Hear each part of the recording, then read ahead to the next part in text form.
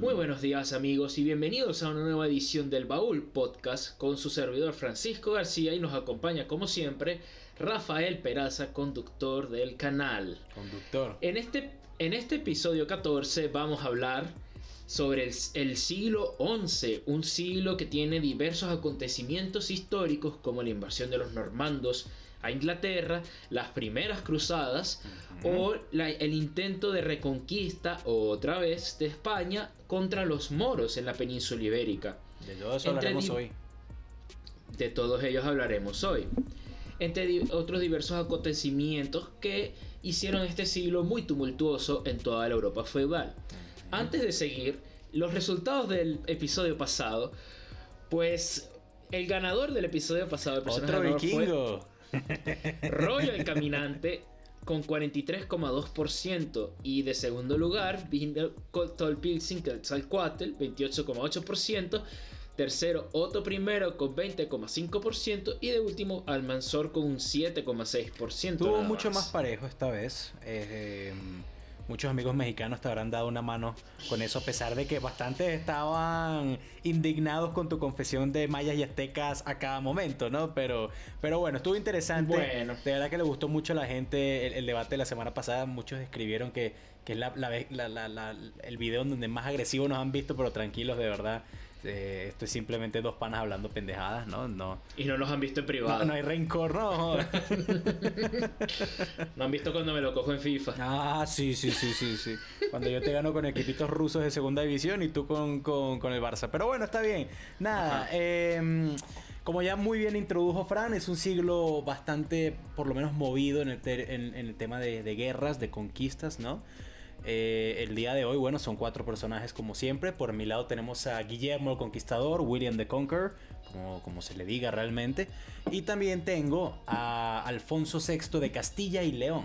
Y Fran tiene también a dos personajes eh, que comparten bastantes cosas en común con los míos que, que acabo de mencionar.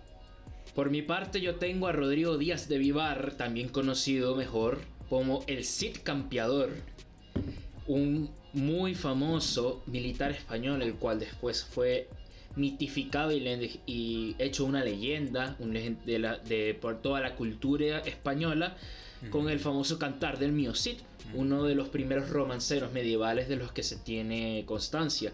Y mi segundo personaje va a ser el Papa Urbano II, que entre muchas otras cosas fue el primer papa que condujo la primera cruzada y que llamó a los distintos nobles de Europa a intentar recuperar Jerusalén de la mano de los árabes, en este caso los, los selyúcidas turcos.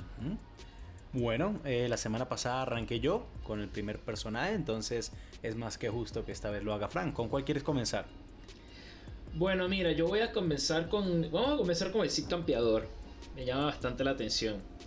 Ok, vamos a ver, breve resumen del Cid Campeador.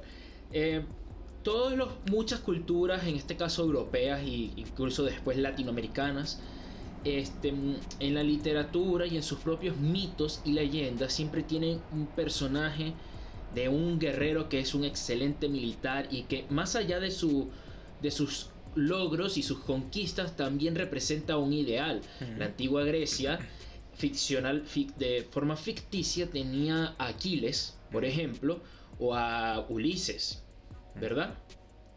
Mientras que en la vida real fue nada más ni nada menos que por lo menos Leónidas o Alejandro Magno, efectivamente. Cuyo, personajes que salieron hacia la posteridad, o sea, en tanto por sus ideales de libertad, de, de las ideas que querían llevarse a otras fronteras, en, Inglaterra, si bien se puede debatir, y ya lo hicimos aquí, está el rey Arturo. sí. La, Ganador de su siglo. La cultura escandinava tiene a Ragnar Lothbrok. Ganador de su siglo.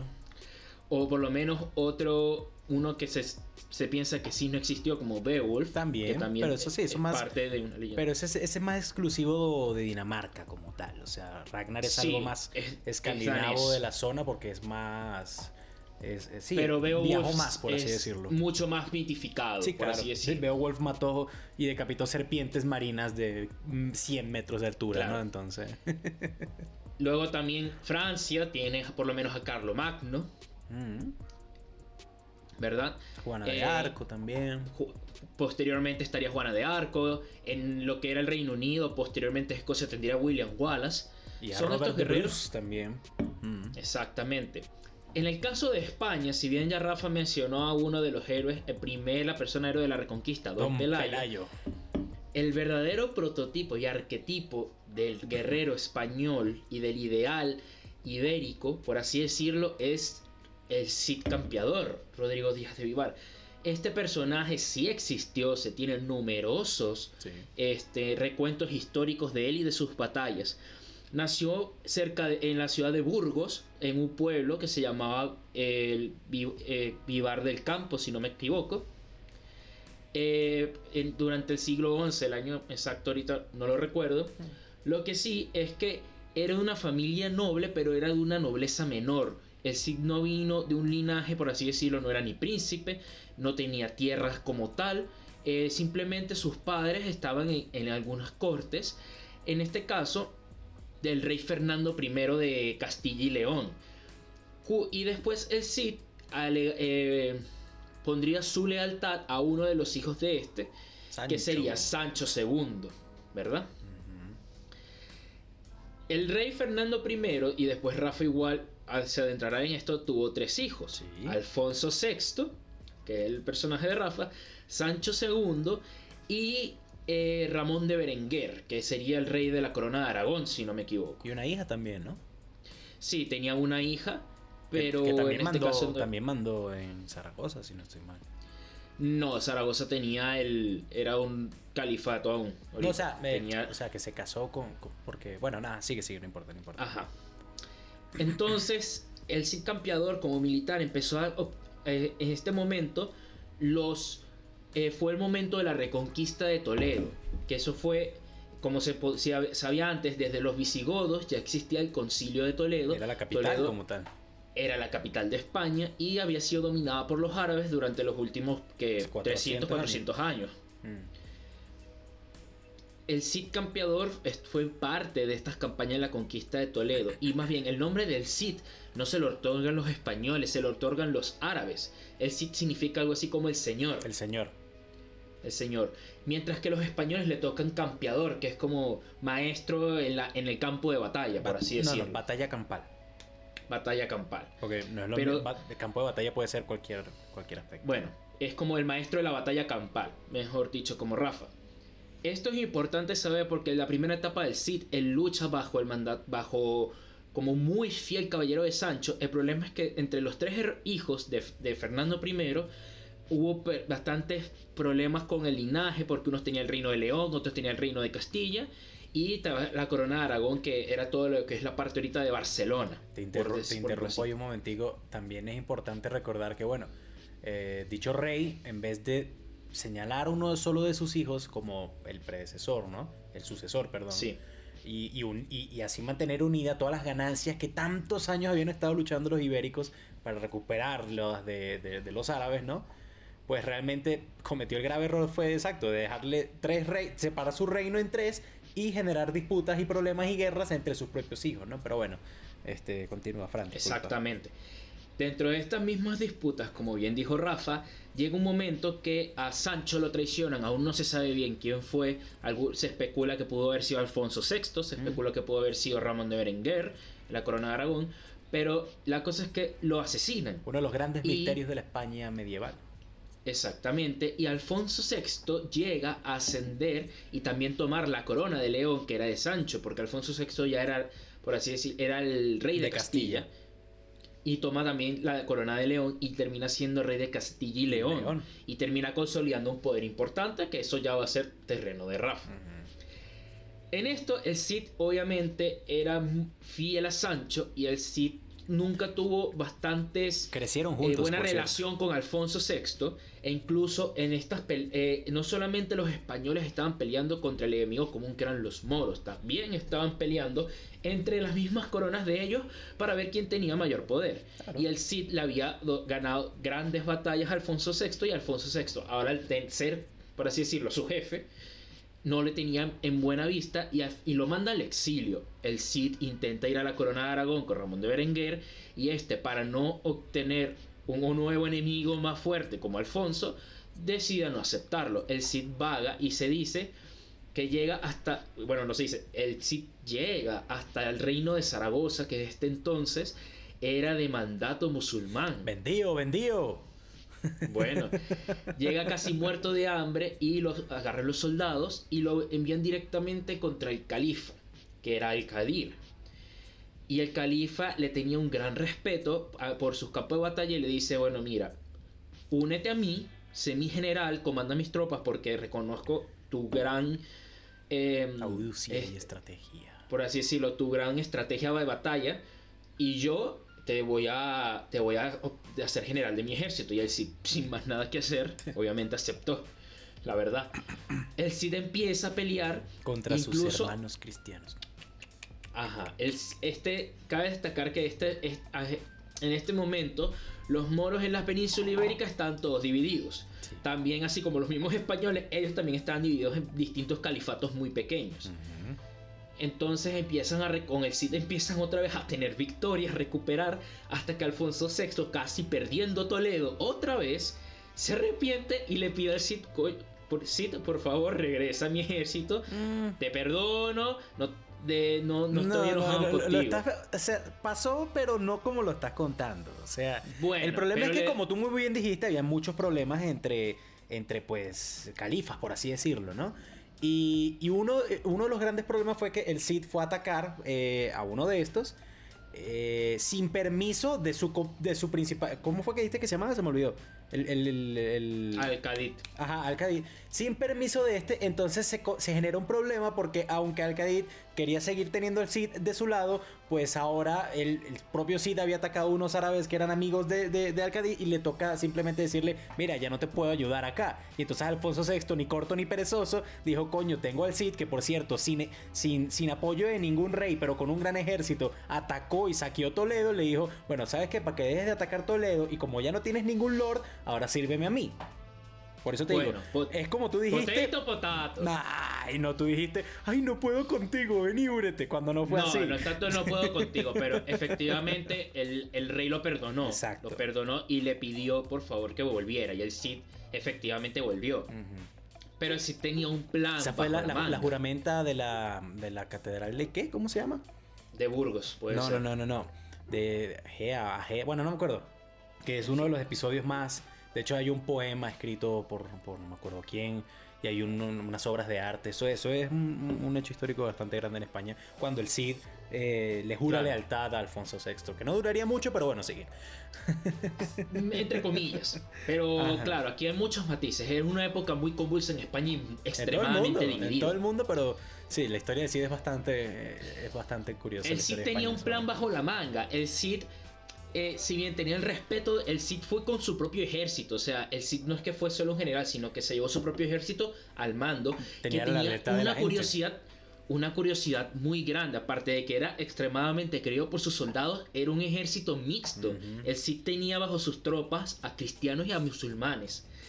Y el plan del Cid era nada más y nada menos que tomar Valencia y crear su propio reino era bastante ambicioso, sobre todo por una persona que, si bien efectivamente estaba peleando bajo un rey y demás, no tenía un linaje de, un linaje de nobleza, ni tenía por así decirlo, muchísimo presupuesto detrás como para lograr algo tan ambicioso. Sí, sí, claro. Pero ten en cuenta que por esos planes que el Cid tenía, lo convertía en traidor no solamente contra la corona de Castilla y León, sino también contra los califatos en Zaragoza, en, Andalucía y en toda la península. O sea, era un. Claro, pero como todo es importante el Le volteó la arepa a los dos lados, como decimos en Venezuela. Ajá. Claro, pero es. El Cid está aquí es verdad. Traidor de España. Se puede, se puede ver como traidor. era traidor. Pero es, importante el contexto. Ah, sí, no, no, no. Por eso te digo. en Valencia, en Valencia, en ese momento, no estaba ese califa Zaragoza, porque, como dije, también había disputa entre los mismos musulmanes. Y resulta que vino una horda de bereberes almorávides que empezó a invadir la península ibérica y que le y te hizo temblar a los propios califas que existían y a los propios españoles que estaban Para la gente que no sepa, los almorávides eran otro grupo también árabe, pero del norte de África, lo que hoy en día es Marruecos y el Sahara. Marruecos. Y no eran, no eran comunes porque eran demasiado radicales.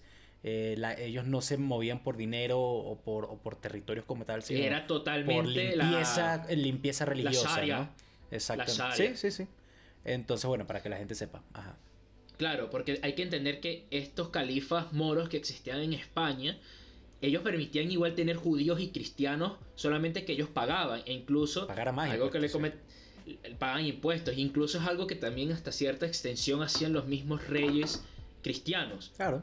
¿Verdad? En sus propios territorios. No, no existía, por así decirlo, una pureza cultural, sino que uno de los problemas de España, que incluso se puede ver hoy en día, es que este es un país muy heterogéneo y es muy difícil eh, luchar con tantas identidades, mantener tantas identidades unidas, pero eso es otro debate. no, no, sé si sea un problema, pero sí, sí, es un, es un inconveniente, o sea, sí, sí. Sí. Y bueno, eso lo voy a, eso va a ser una herramienta secreta que va a funcionarnos más adelante. Pero entonces el Cid la cosa es que empieza a luchar otra vez bajo Alfonso VI y empieza a ganar bastantes batallas y hace retroceder a estos al califa a su califa anterior a su por así decirlo su lord anterior. Ah, y cuando llegan los almorávides que vuelven a reconquistar ciertas partes que ya se habían agarrado de los cristianos el Cid aprovecha y si bien ayuda a reconquistar algunas el Cid marcha con su ejército a Valencia y toma Valencia y la logra mantener independiente por alrededor de unos 8 o 10 años si no me equivoco hasta que cae contra los mismos almorávides porque la sitía, hacen un sitio y el Cid muere en el sitio. No se sabe bien aún la causa de la muerte. Alguno dice que fue por una flecha, otro dice que simplemente murió de hambre. Aquí, pero logran defender Valencia hasta ese tiempo, hasta que su esposa Jimena se va con, con el resto del ejército y eh, hacia, hacia Alfonso a decirle, oye, mira, perdimos Valencia, aquí tienes el ejército del Cid a tu mando, que era un ejército muy fiel, por así decirlo, a la, a la esposa del Cid, porque eh, ellos eh, veneraban al Cid y llegaron con el cuerpo del Cid.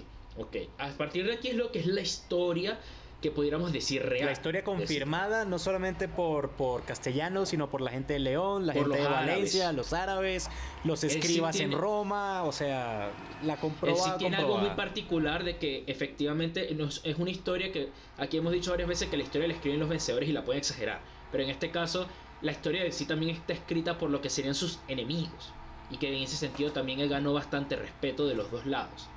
Pues bien, por eso es incluso el nombre completo es Cid Campeador y el nombre es una mezcla de, los dos apodos que tenía uno en España y el otro en, Arabia. El nombre realmente no, no es un nombre, son dos apodos que le dieron, exacto.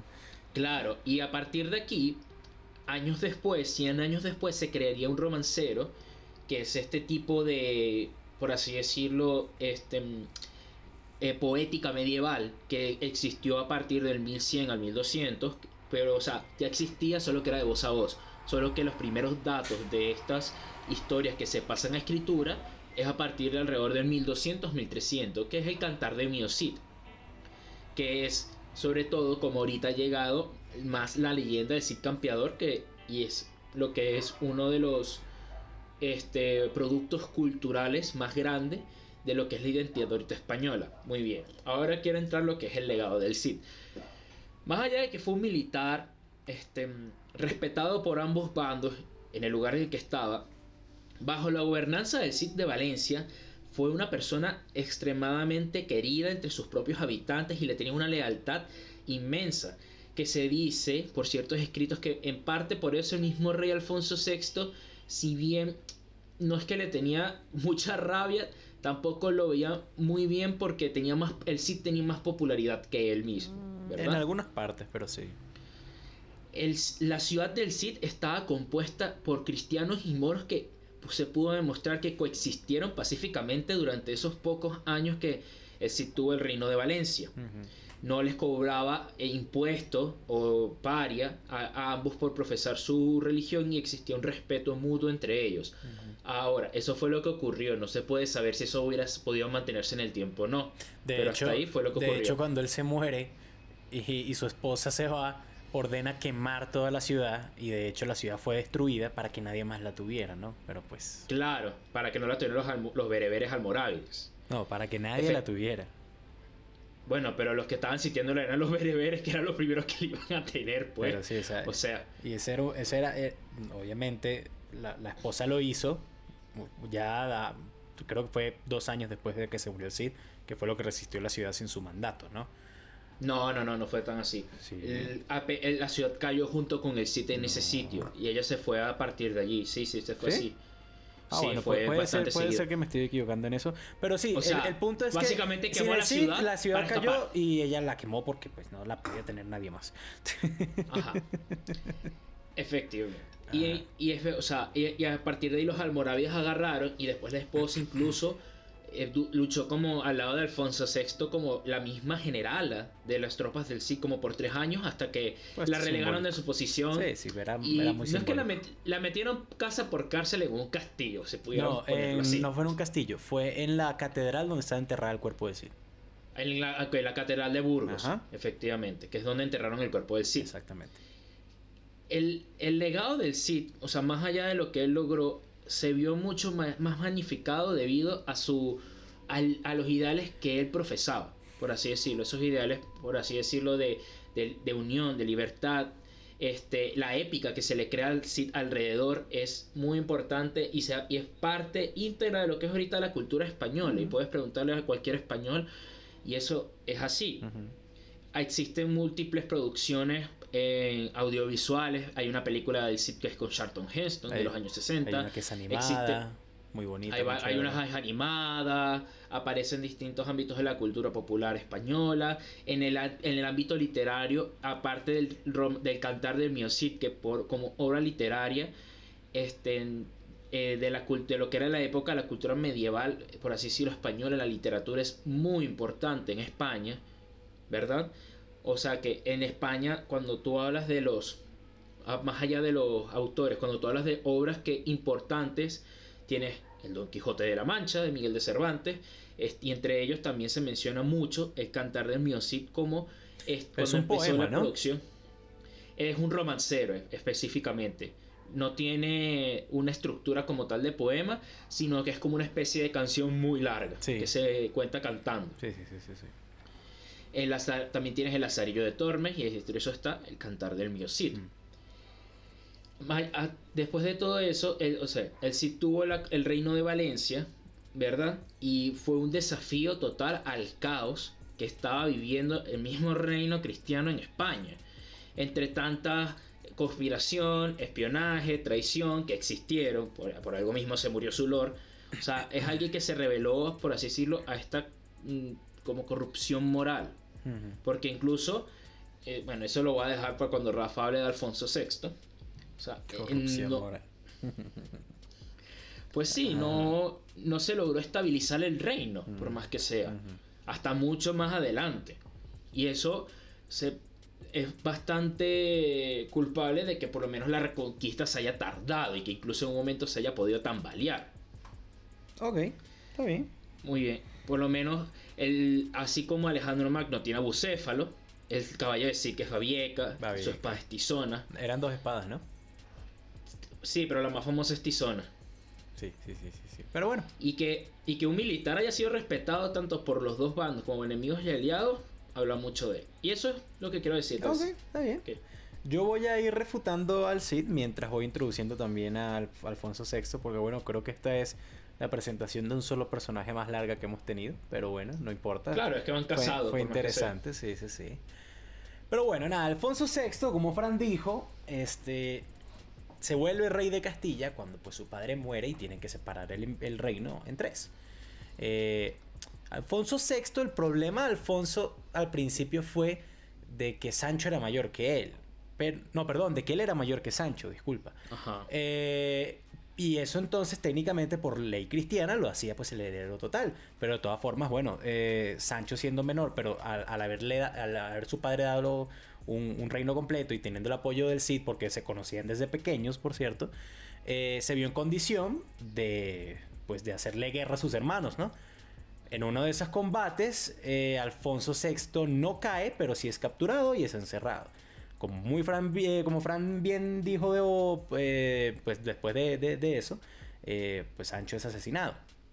Y Alfonso es liberado de la prisión y se vuelve pues el único heredero de Castilla y León. Entonces tenía que tener un rey era peor no tener rey que tener a alguien encerrado sin mandar, ¿no? Entonces, eh, perdón, eh, sí, bueno, esa es la vaina. El problema aquí, que bueno, que Fran no menciona en algunas cosas, es que el Cid realmente es el que se queda sin rey y pues le, pide a Alfonso, mira Alfonso, necesito trabajar, ¿me quieres contratar? Pues porque el Cid era un, era un mercenario, no era noble, no tenía, o sea, no era un noble de alto, de alto nivel, no tenía tierras, no tenía rey porque pues Sancho se era había muerto. Era simplemente un gran general. Era un mercenario. Era un general al mando de soldados que pues si tú le dabas eh, un lord, que en ese momento era lo que buscaba la gente, pues un señor feudal, ¿no? Pues, pues él iba y trabajaba para ti, ¿no? Eh, bueno, ahí entra toda la historia de Fran, perfecto, pero evita unas cosas. Desde Alfonso VI, él ya tenía aliados árabes, aliados árabes en la zona, y de hecho Toledo, como Frandy muy bien dijo que es parte de esta historia, estaba bajo el mando de uno de los grandes amigos de Alfonso VI de la infancia, que era, no me acuerdo en este momento, pero bueno, era un señor árabe bastante importante. Qué nombre tan genial, no me acuerdo en este momento, Califa de Toledo. Califa de Toledo. Pues, bueno, coño, aquí estamos hablando y estos nombres árabes todos se parecen, coño. Entonces, bueno, nada. Eso es racista. That's racist. De hecho, ese es el problema. Y, bueno, pero ¿qué quieres que haga si se parecen? El problema, aquí el problema que, que muy bien Fran menciona cuando el Cid vaya a atacar a Toledo es justamente porque pues el Cid estaba atacando la Toledo de uno de los aliados de Alfonso VI, que Alfonso VI ya tenía desde que comenzó su mandato a los árabes y a los judíos, que por cierto el Cid no era muy fanático de los judíos, este, los tenía viviendo dentro de sus fronteras tranquilamente, respetando sus creencias siempre y cuando pagaran impuestos. Entonces el Cid, como, muy, como Frank comienza a decir, eh, se queda sin lords, comienza a atacar a lo loco, comienza a deambular por ahí, y coño, Alfonso VI dijo, este loco de porquería, que sí es muy importante y es muy carismático y tiene un gran ejército, pero está atacando a todo el mundo sin discriminar, o sea, él simplemente iba para donde podía saquear, y, y el saqueo de Toledo se llama así, saqueo de Toledo. Ni siquiera fue, ni siquiera fue un sitio, ni siquiera fue un ataque, fue un saqueo. Entonces, bueno, después de eso, que, el Cid que, que Alfonso VI dice, coño, este marico tenemos que ponerlo a trabajar bajo, nosotros porque por su cuenta es un wildcard, un factor loco que no sabemos qué va a pasar. Entonces, bueno, comienza a contratar, este, el Cid juramenta, eh, sale del exilio porque, bueno, como Fran dijo, pues ya había sido exiliado por, por Alfonso VI en el pasado y por eso estaba trabajando con los con los árabes, ¿no?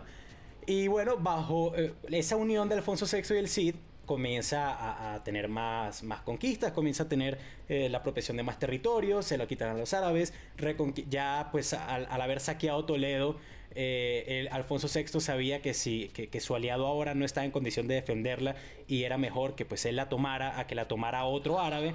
Entonces de hecho hacen un pacto de caballeros y eh, lo que hace Alfonso VI simplemente es quedarse cinco días afuera de la ciudad diciendo que la estaban sitiando eh, para que después el, señor de, Toledo pues la entregara, así como si hubieran luchado cuando pues realmente no estaban haciendo nada. Eh, se incorpora Toledo a, la, al, reino de Castilla y León. Permíteme un segundo, Frank, que esta cosa dejó de grabar. Ya va. Ok. Estos problemas técnicos. Y bueno, nada, este, como Frank muy bien dice, el Cid que era un volteado, se voltea otra vez Alfonso, segunda vez que lo exilian, y va y toma Valencia por la fuerza, que en ese momento estaba siendo controlada por, por los árabes, ¿no? Y eh, cabe destacar que Valencia era una ciudad que el SIC tenía un proyecto hacia ella, no era una ciudad importante en la época como tal. Era, una ciudad grande, pero no era la más importante. Toledo era más importante. No, no era o, ni siquiera en la costa mediterránea. O tenía Barcelona, que era muchísimo más importante que Valencia. Valencia era simplemente o otras casi que una ciudad de estado. Pero tenía, unos, tenía unos muros bastante imponentes para esa época, muros que incluso hoy en día muchos siguen estando ahí, por cierto, en la parte vieja de la ciudad, ¿no? Pero bueno, nada, este Alfonso VI, que pues toda su vida trató fue de unir al reino y de hecho lo logró, por algo era Alfonso VI de Castilla y León.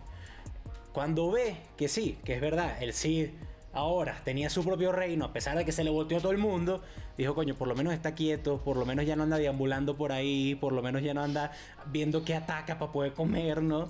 Entonces, dejémoslo ahí quietico, está bien. De hecho, firmaron un acuerdo de no atacarse unos con otros porque a pesar de que, bueno, si eran enemigos, eran frenemies, como se dice en inglés, ¿no? Amigos enemigos, realmente él sabía que pues tener a, otro cristiano, porque por muy volteado que fuera, decir, seguía siendo cristiano de cepa, este, era bueno tener un cristiano ahí, y más cuando cuando los, los, árabes eh, radicales, esto se me olvidó el nombre. Eh, los almorávides. Los almorávides estaban también amenazando hace tiempo querer volver a, a poner un stronghold. que, la verdad es que era la amenaza más fuerte del momento. Exactamente. Pero bueno, básicamente la historia de Alfonso VI se une mucho con la del Cid, por eso me pareció interesante poder contar las comentar Dime, dime. De lo que acabas de decir. Claro, continúas, dime. Así como Rafa me minimiza el Cid campeador, un mercenario loco. Coño. Pues Alfonso VI era, por lo bueno, un gobernante mediocre. Rafa bien dice, nunca trataron de tumbarlo.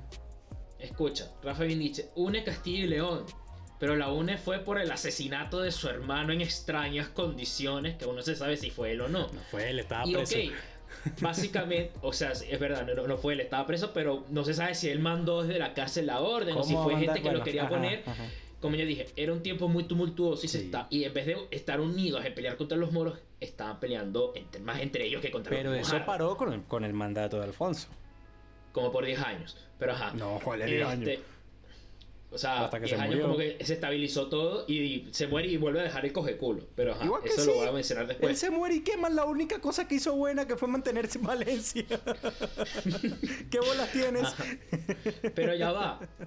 Entonces él, eh, efectivamente, en su reinado, si bien es verdad que permitía a los judíos y a los musulmanes estar ahí, las, el, ponía un impuesto más extremo que los mismos árabes para que pudieran tener su religión.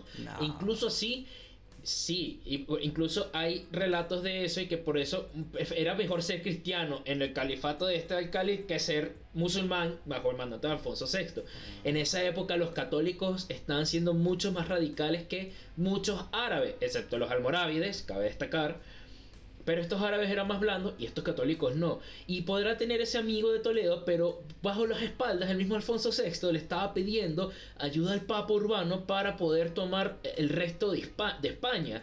Y, o sea, si bien mandan la, la, mayor cruzada la mandan hacia Jerusalén, también mandan una cruzada menor para apoyar a Alfonso VI a tomar la primera cruzada, sinceramente, la cruzada de Barbasto, por cierto.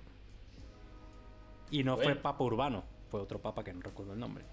No, el Papa Urbano II manda la primera cruzada. No, la primera cruzada, lo que te estoy diciendo, la, cruzada de Barbasto en España para sacar a los, a los árabes. Ah, sí, pero este papa deja el trabajo, o sea, él le pide ayuda a este papa y este papa le dice que sí, pero no una cruzada como tal porque manden primero más para Jerusalén, es lo que me refiero. Primero, la primera cruzada en la historia, que esto va a ser para cuando hablemos de tu papá, nos estamos adelantando, pero bueno, fue la cruzada de Barbasto, búscalo, te puedo pasar el link para que veas. Pero bueno, está bien, eso es para cuando hablemos del papa este segundo personaje. Este, este, este rey, si bien, o sea, eh, tenía ese amigo Toledo, también era un traidor. ¿Por y, qué? por eso mismo nunca pudo tampoco unir la corona de Aragón, que al final se uniría a la corona de Castilla y León, que después se volvería a separar. porque era un traidor? corona de Castilla no, porque, o sea, era un gobernante mediocre que. Pero porque era un traidor. Por así tú, tú, dijiste que era un traidor. el Cid, eh, el Cid, con toda la ley, era traidor, de lado y lado. Eso no se le puede quitar por muchas otras cosas que haya hecho. Pero ¿por qué Alfonso VI era traidor? O sea, si tú me estás diciendo que tienes un, o sea, un pacto de caballo, o sea, que no atacas la ciudad por esto, es mentira, porque él no atacaba porque no tiene las fuerzas suficientes para tomarla, porque hay algo que sí también se ve. Toledo es una ciudad muy difícil de atacar, porque, también tiene unos muros bastante altos. porque está en una montaña. Sí, sí, sí. Exacto. Pero de todas formas no, fue por eso que no atacaron Toledo, era porque pues tenían ahí aliados, ni siquiera aliados, simplemente gente a la cual no atacarse y después ellos mismos le dicen, ven y agárranos porque, porque el tipo sabía, de hecho, el, el, árabe este de Toledo sabía que si lo agarraban los, los, radicales que siempre los, amo, los lo iban a matar. En, cambio, cuando él toma Toledo, Alfonso VI, este árabe se queda como, como, como el administrador de la ciudad incluso. Pero eso no dura. Si igual después él al final lo termina echando igual. No, porque pero no, era traidor, no, y es que Alfonso VI era no, lo termina echando, o sea, no cumplía su palabra, pues.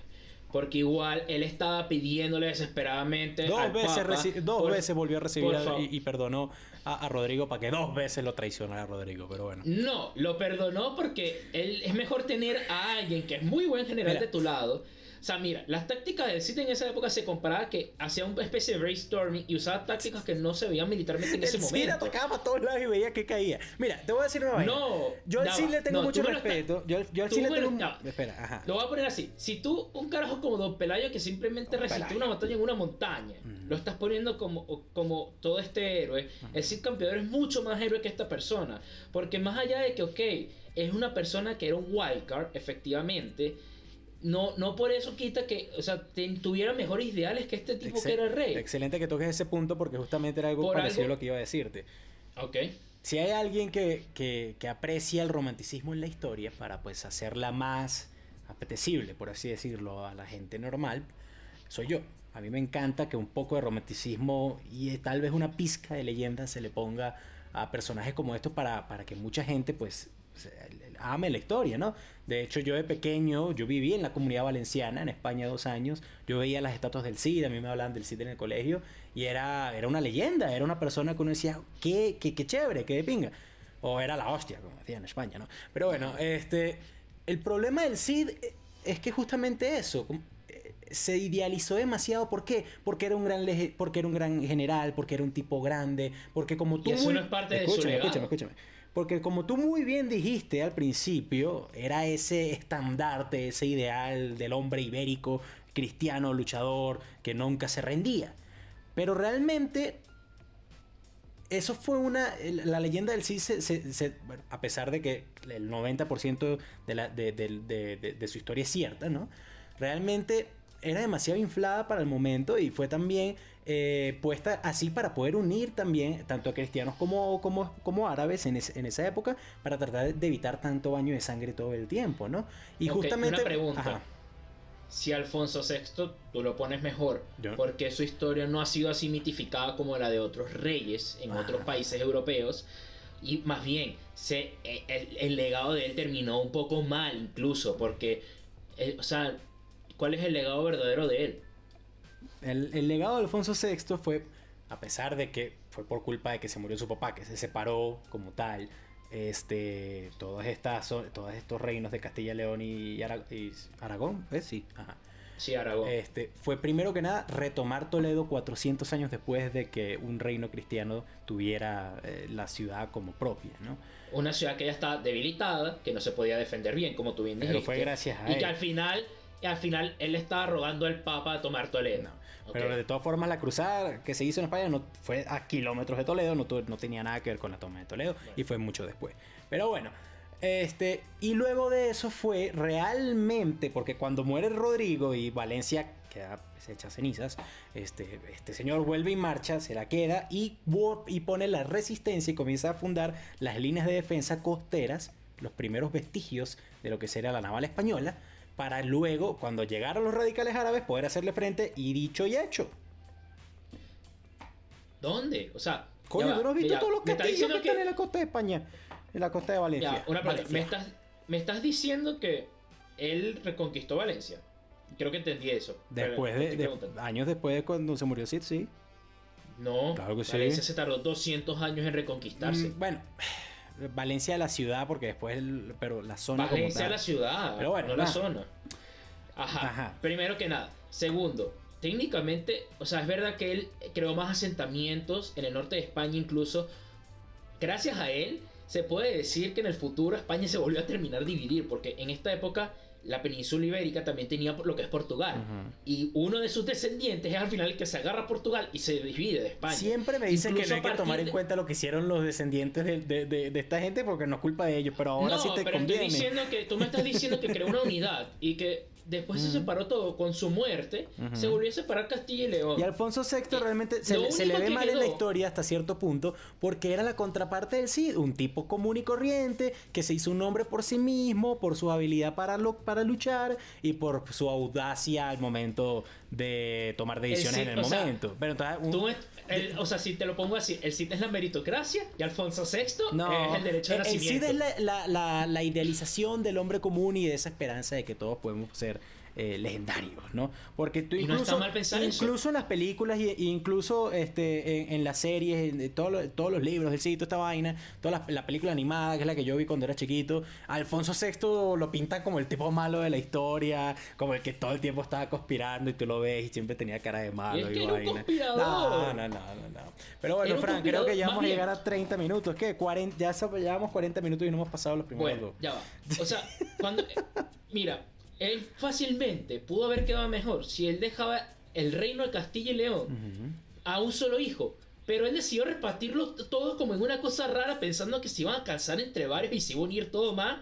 Y al final no pasó eso, todos se volvieron a pelear para matarse. De nuevo, Hasta que se no es reunificaron culpa de él lo que hagan los hijos. Tú mismo me has dicho eso en 500 de mi personaje. Pero, pero o sea, él fue contra todo consejo. Dijeron, deja No. un heredero. Era algo que ya se sabía como reyes. Deja un heredero porque él mismo tuvo que luchar con problemas de, de hermanos Eh. que quieren el poder. No. Y es verdad, es así. No, y yo seguro, prefiero tener el ideal del Cid como un ejemplo eh, histórico de, de ser un mejor ciudadano a que un tipo, el tipo era un que traidor. no logró un carajo. que se volteó para todos lados. Pero bueno, está bien. Mira, está si bien. eres traidor de la maldad, está bien. no ¿De cuál maldad? Era traidor porque el tipo quería este pasársela en combate, en guerras y no le importaba quién atacaba. De eso, por eso No fue era que, así, si no- por eso fue si que no perdió hubiera- la lealtad, eh, eh, eh, el poder servirle a, a dos reyes, tanto cristianos como árabes. Pero bueno, Fran, de nuevo, vamos ya a 42 minutos de solamente Vale, dos personajes. Y creo que realmente, por lo menos en el caso de Guillermo el Conquistador, también es uno de los personajes eh, más, más importantes. No es William el Conquistador. Guillermo, William the Conqueror, Guillermo en, en español. Ah, ok. Yo, bueno, en francés Ya. no sé cómo Es será. que Guillermo Conquistador me suena al otro. Es que aquí siempre, yo siempre trato de decir la gente con el nombre original, por eso yo no digo este, la reina Isabel, sino la, la reina Elizabeth, ¿no? Y mucha gente, oh, pero ¿qué se llama Isabel? No, se llama Elizabeth y el nombre traducido es Isabel. Pues Por eso... es que me, me confunde con el otro No, no, no, no, yo sé, yo sé, es una aclaración general, no te estoy, no te estoy jodiendo a ti.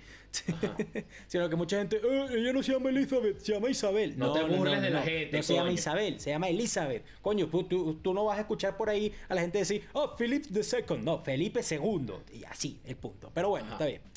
Un pequeño rant ahí que tenía guardado en los últimos videos que siempre me, me han jodido por los nombres de la gente. Yo, coño, que la gente. Yo, yo cuando voy para Estados Unidos no quiero que me digan Rayfield o Ralph. No, yo soy Rafael, coño. Ajá, pero bueno, está bien. Ajá. Guillermo el Conquistador, William the Conqueror, no sé cómo se diga en francés, pero bueno, está bien.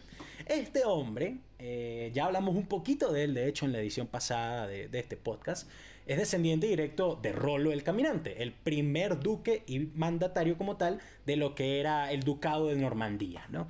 Normandía. Creo el ducado. Exactamente. Bueno, no, Normandía ya existía, pero él lo, lo, lo, lo, lo, lo- Lo convirtió en ducado. convirtió en ducado. Eh, pero bueno, como ya hemos hablado mucho de los vikingos en Inglaterra y en toda esta zona, bueno, este, seguimos con, con- con la era vikinga en estos momentos to- como tal. De hecho, cuando, Guille- cuando William era joven, cuando era un niño todavía, eh, en Inglaterra mandó por 30 años Canut, un rey noruego que pues había tomado lo que era Inglaterra, ¿no? Entonces Inglaterra tenía un, rey escandinavo, imagínense eso. Pero bueno, el padre de William se muere cuando él tenía 7 años y pues crea un problema en Normandía que aunque no era el más grande de los ducados, era uno de los más importantes porque pues era, era un bastión tanto de recursos como lo era madera, tenía muchos bosques para pues, poder construir eh, barcos y piedra también para construir castillos y todo esto. También tenía mucha gente muy, muy, muy guerrera, en especial descendientes de vikingos o vikingos propios que pues se habían cristianizado y ahora vivían en ese lugar que pues tú podías ser eh, o sajón, o podías ser normando, o podías ser galo, o podías ser este, escandinavo y no pasaba nada, tú podías estar ahí tranquilo, gracias a Rolo, ¿no? Pero bueno, su abuelo. Eh, se muere su padre cuando tenía 7 años, hay un problema, el, eh, el rey de París trata de, el rey de Francia, que pues desde París trata de tomar Normandía, que no era parte de Francia, pero pues los normandos se defienden, él cumple 18 años y logra sacar a toda la influencia extranjera de, de, de, de, pues, de Normandía. Comenzó a ser general desde los 13 años, era una persona que tenía, que, que era luchador desde chiquito porque le tocó. Y era muy buena estratega, de hecho nunca perdió una guerra a pesar de que tampoco él siempre elegía grandes combates en vez de pequeñas No perdió una escaramuzas, guerra, ¿no? pero se murió en una batalla. Pero no, pero, pero no la perdió. De, hecho, eso es lo cómico. Él se muere en batalla, pero no pierde ese, no pierde ese combate. Eso es lo cómico. Pero bueno, nada, este... En, en el proceso, bueno, eh, Normandía, que tenía salida al mar, pues y como ya dije, tenía mucha madera, comienzan a construir una gran flota. Y de hecho Sicilia cae bajo la influencia de, Normandía. Sicilia, recuerden esa isla que está en la punta de la bota de Italia, lo lejos que está de Normandía, ¿no? Pero bueno, logran mantenerla, este, se, toman, se toman territorios de lo que era Britania. que al final los normandos de Sicilia se hicieron como, okay, como un reino hermano aparte. Sí, como claro, que los que secaron allí bueno, se independizaron en teoría. Por algo le decían el conquistador, porque el tipo realmente tenía muy buena, muy buena habilidad para en una sola batalla acabar con la resistencia local y de hecho pues le, Exacto, le gustaba llegar, dejar gente y irse para otro lado. Exacto, bueno, el tipo conquistador, pues. Eh, como bueno, Sicilia, parte de lo que hoy en día es Bélgica también estaba bajo su control, parte de lo que hoy en día es la Britania francesa también está bajo su control.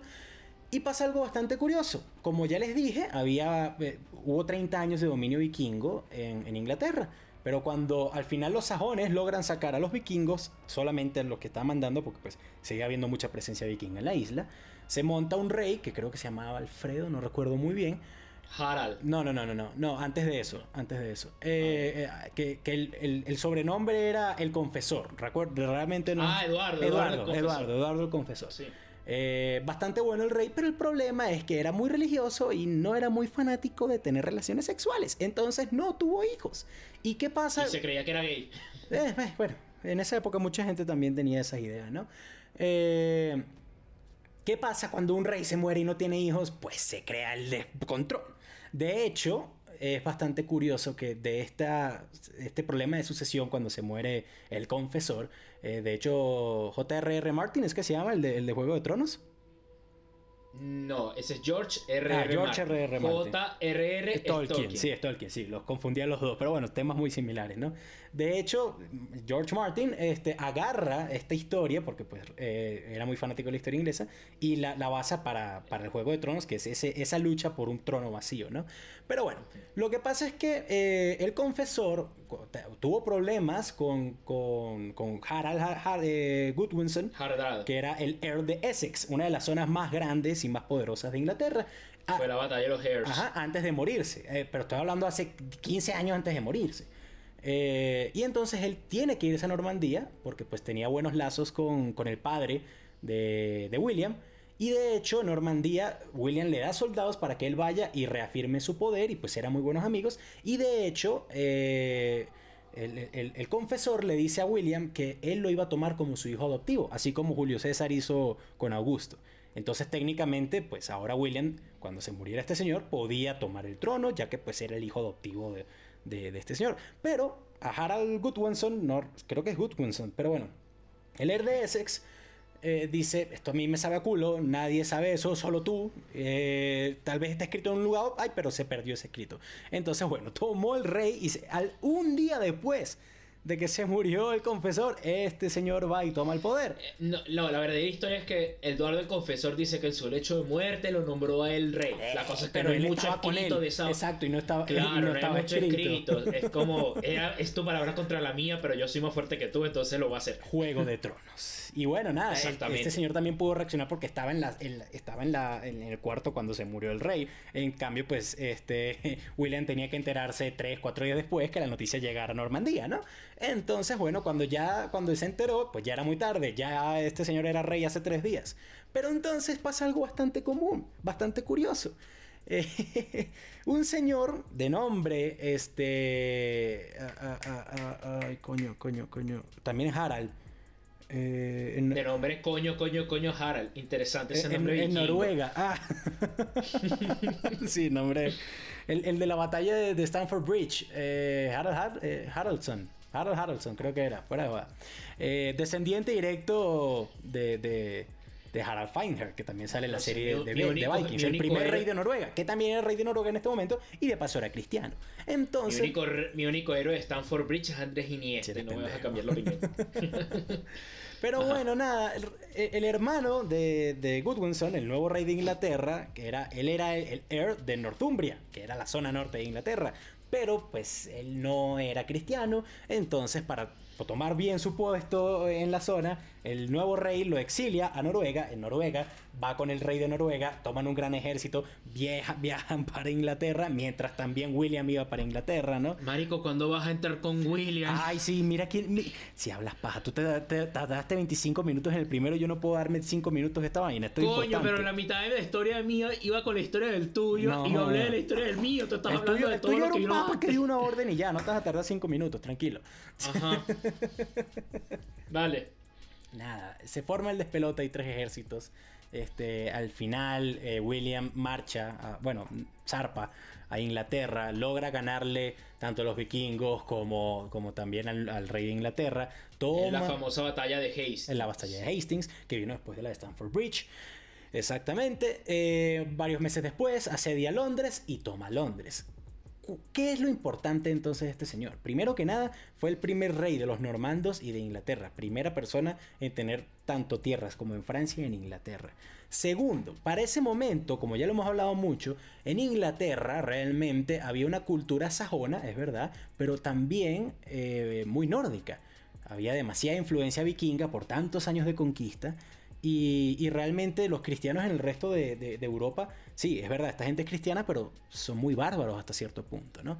Cuando llega eh, William, que se queda con el poder, creo que fueron 15, 20 años hasta que se murió justamente en una batalla luchando también en Normandía, eh, cuando llega este hombre, él, comienza la influencia realmente europea, en este caso francesa, eh, en Inglaterra. Comienzan a, hacerse más europeos, porque Inglaterra si, si, siempre ha tenido un problema es que ellos ni siquiera se consideran parte de Europa. Ni, ni hoy en día, ni nunca realmente.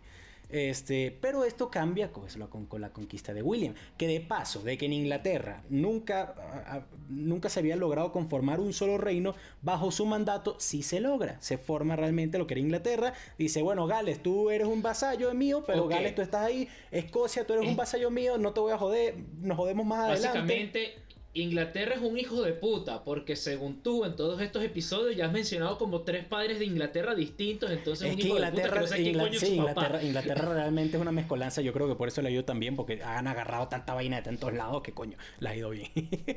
Pero es verdad, no, no, eh, estás totalmente, estás totalmente en lo correcto. Realmente Inglaterra ha tenido demasiadas etapas, pero aquí sí ya, y no me vas a escuchar decir esto de nuevo, que, que este, no estoy diciendo que él es padre de Inglaterra, sino realmente el que comenzó y el, que fundó la, Inglaterra europea, ¿no? Ya después de él, las dinastías que vinieron después de él, eh, ya eran una Inglaterra establecida que no cambió tanto, a no ser que fuera pues por, eh, no sé, eh, el, periodo victoriano, el imperialismo y todo este tipo de cosas. Yo quiero comentar que cuando Rafa dice Inglaterra, es no es Inglaterra, no el Reino Unido. No sí, ni Irlanda, ni Escocia, no solo que claro, ni Gales, porque si bien dijo que Gales era un vasallo, una de las cosas que nunca logró conquistar fue Gales, pero ajá. No, Escocia realmente. Y Gales sí la conquistaron varias veces. menos. Gales, pero Gales, sí la conquistaron varias veces, sino que ellos se iban y Gales se rebelaba.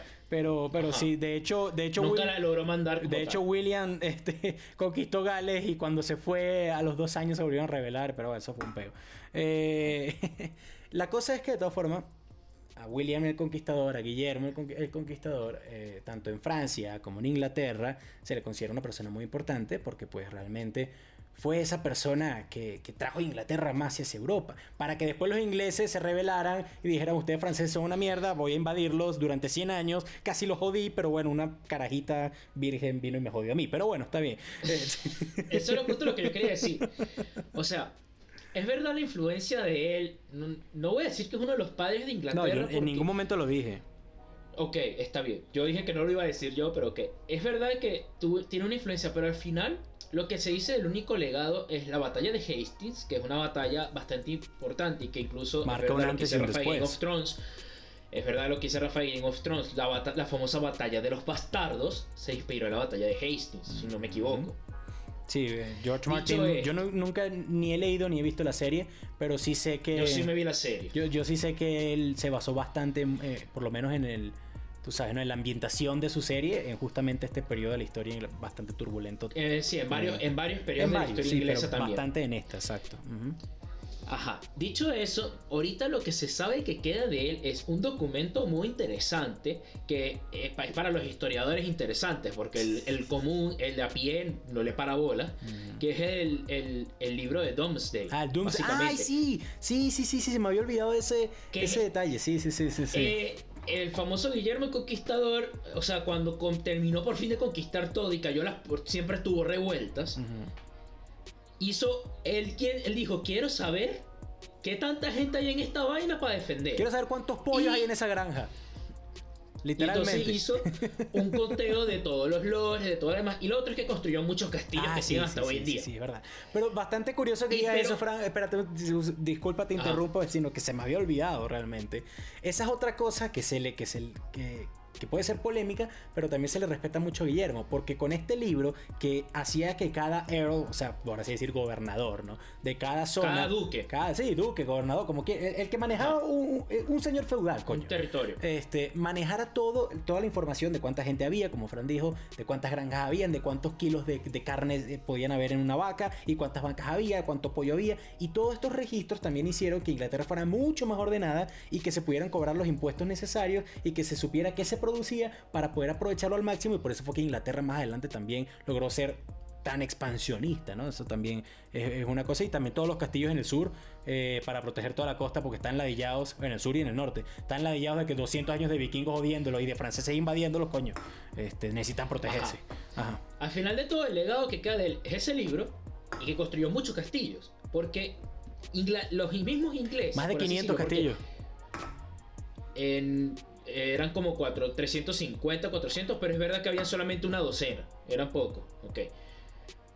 al final de todo esto, la torre, de Londres, en el futuro, los anglos y los sajones se, se enfocaron durante muchísimos cientos de años en erradicar todo este legado. Porque al final ellos odiaron esta europeización. Pero la mantuvieron y por, eso pudieron ser tan ordenados. La siguen renegando. O sea, lo que queda es la batalla de Hastings y demás. Y es una, es una cosa que ellos renegaron. Y por eso mismo, como mira, el arte, se fueron a la guerra de los 100 años. El arte, la, la, sofisticación, el, el orden, todo esto también vino fue con esa después se perdió. Porque efectivamente él llegó e impuso en, en la clase alta el idioma, el normando, eh, que era como un, francés. Un francés golpeado. Y el latín. Y al final hubo sucesores que eran ya creo que ni siquiera eran nietos de él. Eh, su él cuando se muere, su descendencia si bien se mantiene bien en, en Normandía, porque él no muere en Inglaterra, él muere, haciendo expediciones en Francia. Este, su descendencia logra mantener bien Normandía porque hacen buenos pactos con el rey francés pero al final entre la misma Inglaterra se le rebelan y la agarra otra casa. No, por así no, no, no, técnicamente. De hecho, cuando se muere él, eh, el hijo de él, que se queda con Normandía, y él, y, otro hijo de él, que, porque eran tres hijos. Y él le dejó a, Eran tres hijos. Sí, a él le dejó uno Normandía, Normandía al otro, le dejó Inglaterra y al otro le dejó toda la... plata. No, no, al otro sí le dejó que sí, Sicilia, lo, que habían cogido. No, le dio plata. No. Nada más le dio plata. Ah, bueno, puede ser. Pero bueno. Y ese último es el que después se va para Inglaterra cuando se muere el otro pero, pero yo no me refiero, yo no me refiero a los hijos directos, me refiero ya a nivel de como al, hijo de este, este no dejó hijos, este último hijo de él, entonces no hubo una, una línea de sucesión clara y después se metió otra familia en eso, Juego de Tronos. Juego de Tronos. Pero bueno, entonces, la importancia de este es lo que yo quiero decir con esto. Ok, es verdad que hizo un cambio, pero al final de todo el cambio fue que se quiso borrar todo porque los mismos anglos y sajones se les renegaba su cultura. E incluso por este mismo documento del Domesday se sabe que el tipo creó un déficit poblacional porque mató tanta gente, porque era un gobernante tan autoritario y tiránico que mató tanta gente que, o sea, despobló Inglaterra, le creó una despoblación y mira que en esa época déjame decirte, sí, pero déjame decirte que eso lo hacían todos los reyes del momento, hasta el propio Cid era un sanguinario. Eh, pero y más bien que él pudiera, que él pudiera ver ese registro, dice mucho de porque no, a los otros le importaba. Hasta para los estándares de esa época, por los estándares medievales, a él se le pusiera un sanguinario, los propios estándares medievales. O sea, la batalla de Hastings eh, fue tan violenta que para los propios historiadores de la época era demasiado. Eso, eso, no, eso no lo leí yo en ningún lado, entonces no. Yo sí lo leí, búscalo para que te puedo mandar el Decirte, o sea, la batalla de Hastings fue después por historiadores que, o sea, con mismos recaudos de la época, que eran muchos tomados por, por monjes, mm. por personas que viajaban y demás. eh, fue una batalla horriblemente sangrienta y por más que sea, él no, De hecho, no en el fue mundo- un buen gobernante muy... En el fue un mundo anglo, el de hecho, orden, incluso pero- en Estados Unidos y Canadá hoy en día se estudia la batalla de Hastings como algo que marcó un antes y un después, ¿no? Tal vez nosotros en nuestra, en nuestra educación más latina, eh, no, ca- ca- tal vez sea primera vez que mucha gente la está escuchando, ¿no? Pero esta batalla sí, como Fran dice, fue muy sangrienta y todo, eso sí no es mentira, eh, pero bueno, fue una batalla que de nuevo cambió la historia. Yo no dije que no marcó un antes y un después. Y o sea, no cambió tanto la historia como tú lo quieres ver, porque como yo te dije, después los anglos y los sajones, si bien se quedaron con la estructura feudal, borraron todo, recoda vaina de los franceses y hasta hoy en día los ingleses se llevan Eh. mal con los franceses. Ah, sí, bueno, porque sí, sí. eh, lo que ellos odiaron era toda Bueno, la si los influencia invadieron, francesa que esta pero bueno, trajo. estaba ahí.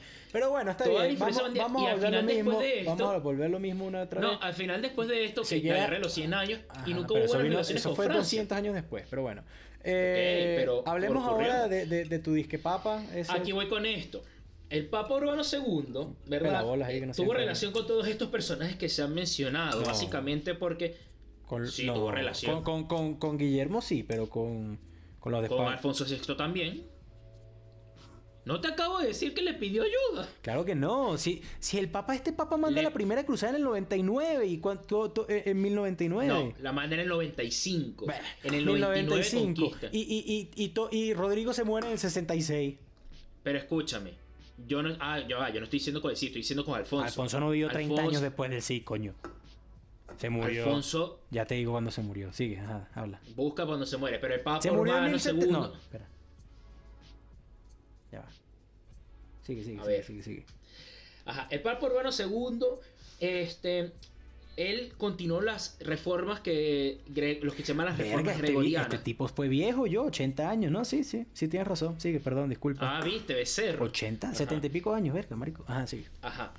Entonces, el Papa, este Papa siguió las reformas de Gregorio VII, las reformas gregorianas, Ujú. eh, que, que consolidó, o sea, por una de las reformas gregorianas fue, básicamente, independizarse un poco más del Sacro Imperio Romano Germánico y de un imperio que te proteja, se le están y volteando. consolidar los estados pontífices, porque efectivamente los emperadores, como suelen ser, los emperadores son bastante este, megalómanos, por así decirlo. Tienen un culto a la personalidad bastante duro y, y eso obviamente choca con los papas que también se dan culto a la personalidad bastante dura al ser el más cercano al di- a Dios en la tierra, por así decirlo. Ni siquiera ser el más cercano, ser la representación. La de voz Dios, de. Dios La en voz la de tierra. Dios. Ajá. buen segue, porque efectivamente el Papa une muchos condados de nobles bajo el cristianismo, porque como bien dijimos, estas épocas tumultuosas en España y en Inglaterra no eran únicas. Francia también tenía muchos problemas internos, Alemania de por sí tenía problemas internos, el Sacro Imperio Romano Germánico ya se estaba tambaleando y se iba a caer como 100 años después. No, bueno, poquitico más, pero Y- sí. Ajá. Claro, y por el otro lado, allá en el oriente, los bizantinos, los selyúcidas turcos le estaban pateando el culo, Sí, no. básicamente. Los cristianos ortodoxos más adelante. Perdieron la Anatolía. En, eh, en esta, o sea, no, aún tenían Constantinopla, pero perdieron lo que fue la, la- la región de Turquía, que es Anatolia. Dicho esto, este papa, él empieza como un cardenal, es francés, es de origen francés, empieza como un cardenal, y al final el mismo papa Gregorio VII, que es el que, o es Gregorio VIII, no me acuerdo, el Gregorio VII, que es el que vino antes de él, Ujú. lo pone como la línea de sucesión papal, entre comillas, dice que tú eres papable, es una expresión, como que había un número de cardenales que podían ser papas, y a partir de aquí se crea lo que es la llamada curia romana, que es como eh, lo que hoy en día es como decir el senado papal, por así decirlo, entre cardenales que deciden cómo se va a llevar eh, el cristianismo, pero a un nivel más político. Por ejemplo, ahorita la curia romana decide qué hacer con los métodos anticonceptivos respecto a los cristianos, obviamente, el aborto, los homosexuales, etc. En- y, la, y la curia romana viene desde este momento y este fue un papa que tuvo que también luchar con sus propias divisiones porque hubo otros cardenales que, era- que estaban en contra de las reformas gregorianas que creó lo que se llamaba el llamado antipapa. Básicamente era un cardenal que se autoproclamó papa pero no fue reconocido como tal, que era en este caso Clemente III, el antipapa Clemente III. el cual... Suena muy satánico eso. nunca logró el papado. Y si bien estuvo, incluso estuvo apoyado, no es que era alguien, un huevón por ahí, estaba en Roma incluso, y estuvo apoyado por el, el emperador Enrique IV del Imperio Sacro Imperio Romano Germánico, porque este papa le iba a cumplir todos sus caprichos. Mm. Eh, Urbano II quería alejarse de esto siguiendo las reformas de Gregorio VII y viene y llegó un momento que lo logra sacar de Roma, o sea, logra ganarle la, la partida a este papa e incluso él ve una oportunidad viendo todos estos tumultos, que qué es lo que une a todos estos duques peleándose por tierra, todos estos reyes, emperadores, etc. El cristianismo. Un enemigo común del cristianismo. Los musulmanes. ¿Y qué tienen los musulmanes que los cristianos quieren? Jerusalén. Y aquí es cuando el Papa hace una muy famosa frase que no se sabe muy bien, se dice que puede estar un poco exagerado, pero de momento se cree así, que él, él dijo, Dios ha dicho, para conmemorar y crear la primera cruzada en 1095. El Papa moriría en 1099, dos semanas después de la toma de Jerusalén, sin saberlo. sin saber que logró tomarse Jerusalén, pues porque las noticias no viajaban tan rápido.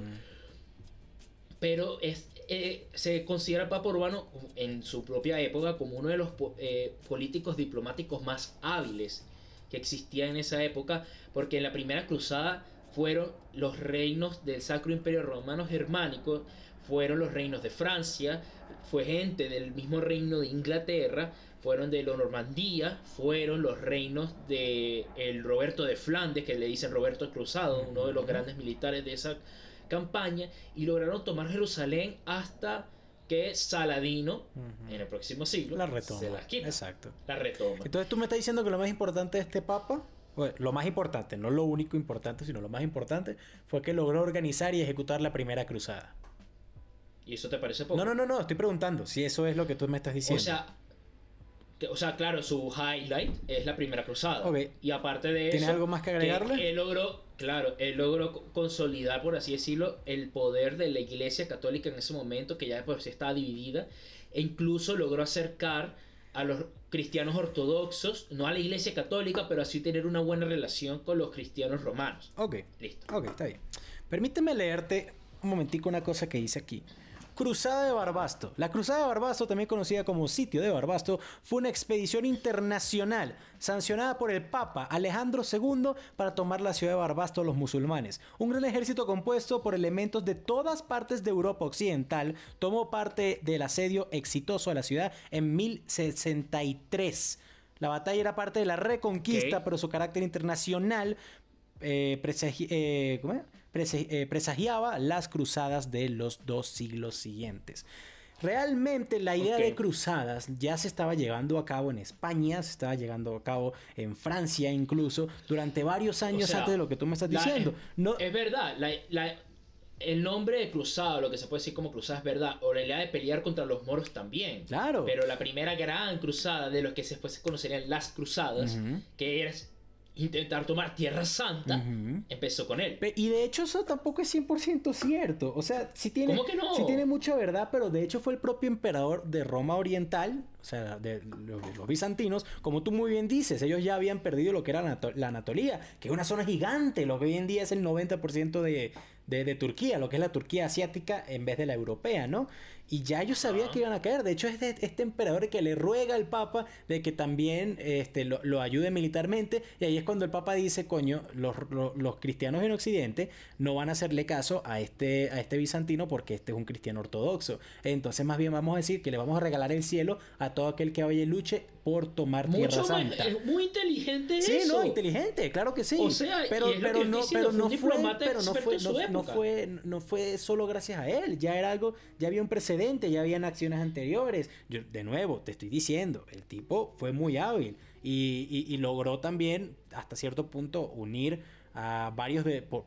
muy, esporádicamente, pero bueno, logró unir a, varios de, de, de, no, no de reinos porque no, no, eran reinos enteros los que iban. Iban que si duques, iban que si eh, lords feudales, ¿no? Ningún ejército. Es que en general era, era puros señores feudales los que iban para ganarse el cielo, ¿no? Pero bueno, realmente... No, y no solo para ganarse el cielo, sí, se puede decir bastante de las cruzadas, es que muchas de, las cosas que se iban a hacer también eran agarrar tierras, ni eran huevones. Pero no lo lograron, o sea, solo, solo tomaron, tomaron que eh, Acra... Jerusalén... Acre o Acra, Acre o Acre, Acra. No, Acra, pero a ver, tomaron Trípoli. Una de las que tomaron fue Trípoli. Sí, pero eso está en África.